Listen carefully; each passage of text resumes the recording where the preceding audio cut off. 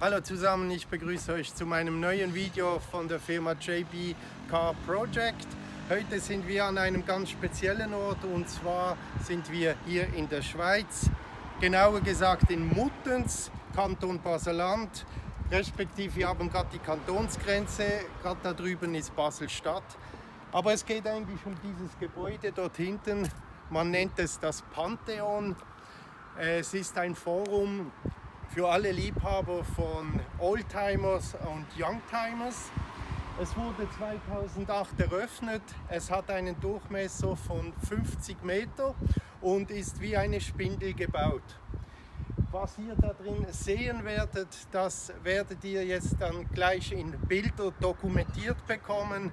Ich wünsche euch viel Spaß, weil es hat wirklich absolute Highlights in diesem Gebäude. So, nun befinden wir uns im Innern des Pantheon. Die Idee hinter dem Pantheon Basel ist die Kombination einer Garage und einer Autowerkstatt mit einem Museum. Einerseits ist es der Abstellplatz für Oldtimer, die mehr oder weniger regelmäßig gefahren werden und anders Teil der Ausstellungsraumes des Museums. Dadurch können private, sonst versteckte Sammelobjekte einer öffentlichen Publikum gezeigt werden.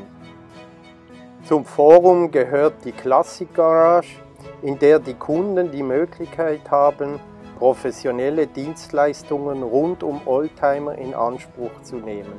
So befindet sich dort eine Sattlerei, eine Lackaufbereitung und eine mechanische Werkstatt. Nun wünsche ich euch viel Spaß und bis zu meinem nächsten Video.